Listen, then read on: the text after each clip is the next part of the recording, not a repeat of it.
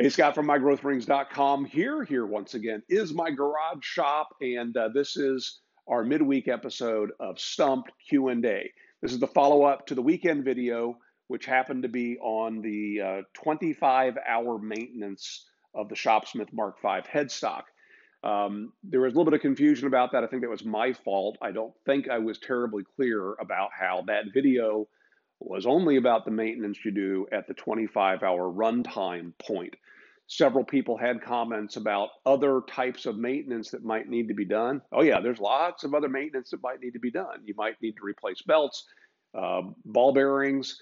There's even two other spots inside that headstock that might occasionally need lubrication. I didn't talk about those. Um, I'll, I'll, touch on those briefly today, but we're going to do other videos about other stages of maintenance and maybe your machine needs it. In fact, there was a comment. Let me see if I can. I have some notes here. Um, Caleb said that his machine hasn't had any maintenance in 50 years. So, Caleb, you've got several places that need to be lubricated. But let's start at the top of my list here. William said that his manual says to use 10W30 motor oil well, it really depends upon what Shopsmith manual you've got. I mean, that uh, that machine's been around a long time, and there's been many manuals. Um, the most important thing being it should be a 10 weight motor oil that is non-detergent. So the 10W, that's 10 weight. So you're good there as long as it's non-detergent. And guess what? I recommend this sewing machine oil. It's a 10 weight non-detergent oil. Okay, so um, you're safe with this. There were some folks that were concerned about that. No, it's perfectly fine. A uh, little backstory on me. For five years, I was a full time clockmaker. I was a horologist. And there was a famous horologist back in the 18th century who said to Napoleon, Napoleon, who was looking for timepieces that were accurate so that he could coordinate his battles, this uh, horologist said, Give me the perfect oil and I'll give you the perfect watch. Lubrication's a big deal, and using the right oil is critical for the success of this machine. Also, using the right amount. You know, I, I made some flippant response or comment about how it's okay if I put too much. Now there's actually a point. If I put way too much, um, not only is it going to be thrown off of the parts as they move, but that oil, as it exits, actually pulls oil out with it. So there's sort of a capillary action that takes place. So, so adding too much oil to something ultimately has the same effect of not adding enough oil. It needs to be just right. And what is just right? Basically, what we're doing is we're creating a fluid or a liquid bearing. We want those parts to be floating on oil. And uh, so, right amount, just a couple drops, and you're good to go every 25 hours. Um, let's see. Uh, Kurt said, "Is it possible to remount the headstock with those locking wedges uh, misaligned? The, the, wedges that are a part of the headstock lock right here. You know, I, I did screw that up and I took it off. Um, I did a little editing and I refilmed that part. When I took it off initially, I screwed it up, had a misaligned. But no, you can't. Uh, basically, imagine a, a cylinder that has a portion of it cut away, and it can only go on the tube if it's properly aligned.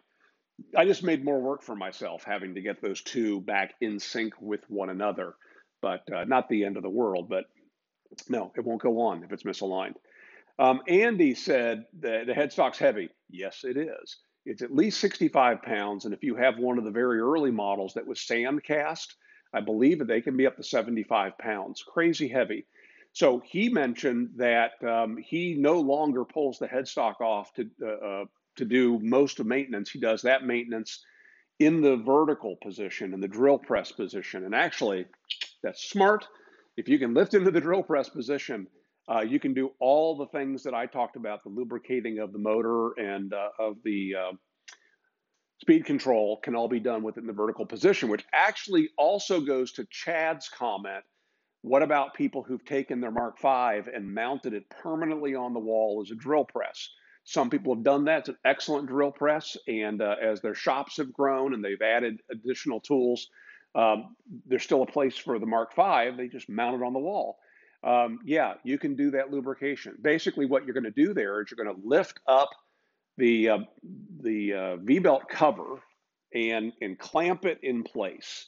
Um, if you do have the ability, if it's just a standalone uh, drill press, just a Mark V, you can stand it up, you can remove the tie bar at the top and remove the belt cover. But if you can't do those things, just lift the, the belt cover up, put a spring clamp on it, and uh, then you can change the, the V belt, you can add the lubrication to it, all that stuff can be done from there.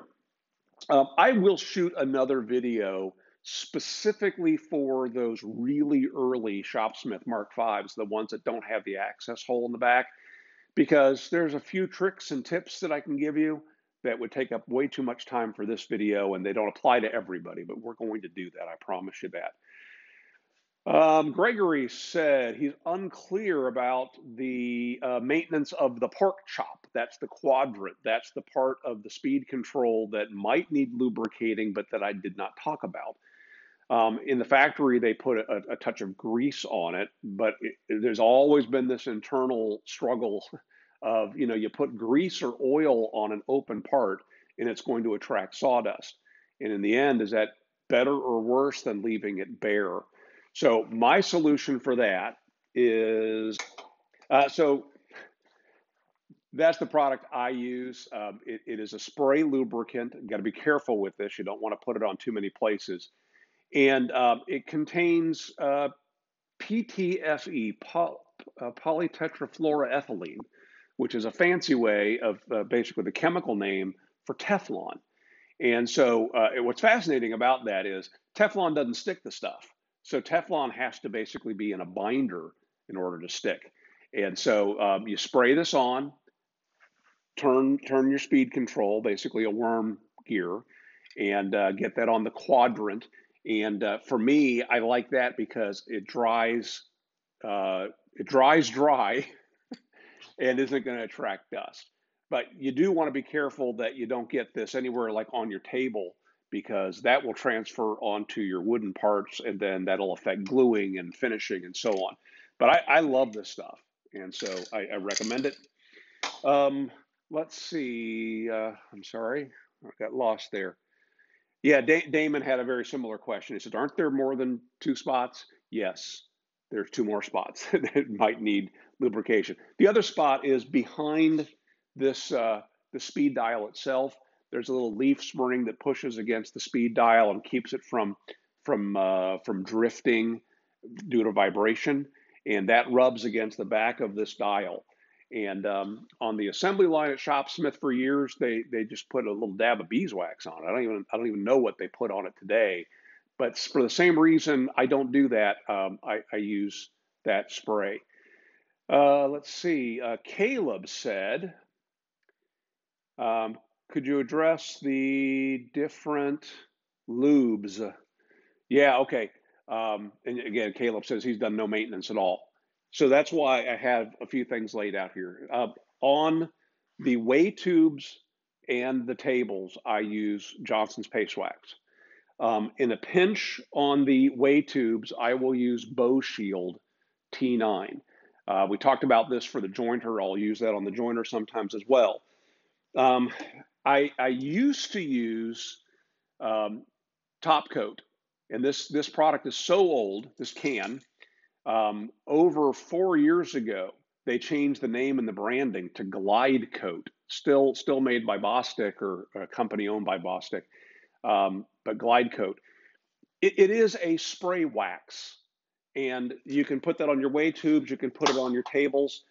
Um, when and where I use that, I don't like it as well as paste wax. I don't find that it lasts as long, even though all the advertising on it will tell you that it lasts longer than paste wax. I'm not sure whose paste wax they compared it to, but what it does do is it puts a quick coat on things.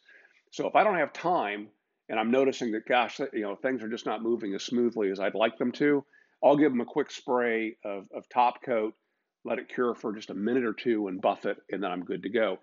It also is really kind of cloudy, so you know the I don't like it, but it's okay. And it's designed for that purpose. It's designed to make your cast iron and and, and uh, you know aluminum tables move smooth smoothly. So I do use it and would recommend it for that.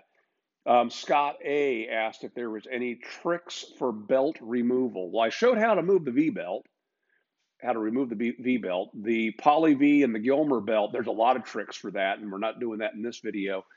But uh, I'm not sure if it was him or somebody else. Somebody was talking about having their their V belt basically had gotten caught up in the uh, in the sheaves.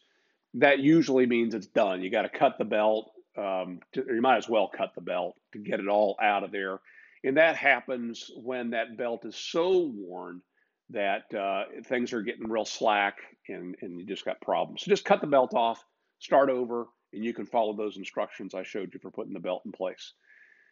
Uh, Dave said, since you broke the quill, will you upgrade? And I, in the comments, I said, well, I didn't break the quill, I broke the quill handle. And I said, I, I, was considering it, and, and then I did. I, I, if you look in the um, community tab on the um, on my uh, channel page, I posted a picture of the quill handles that I've purchased. So I've purchased a set of two, um, a one arm, which is really long, and a three arm, kind of traditional uh, drill press type handle that's a quick release that can go off and on and mount in, in, in, a whole bunch of different positions. I think 19 positions on either side of the headstock.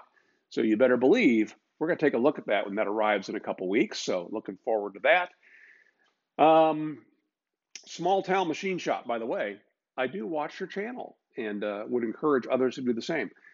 Um, are the bearings common sizes or are they proprietary? yeah, bearings are all common sizes. You can buy these bearings on on the free market. and uh, so if you want to go cheap, you can buy cheap Chinese bearings. If you want high quality bearings, you can do it and you won't regret that. Um, then let's see, I got just uh, one more, two more lubricants here. We, we've got graphite, which we used last week on the, um, on the headstock lock. Uh, there are some spots if you happen to have a, a Shopsmith bandsaw, there are some spots on the bandsaw. If you don't have the ball bearing upgrade, that you use graphite. There's also uh, grease that gets used on the bandsaw, and there's a few other tools that have miscellaneous. You know, if you got the jigsaw, you got to add oil to the oil bath and so on.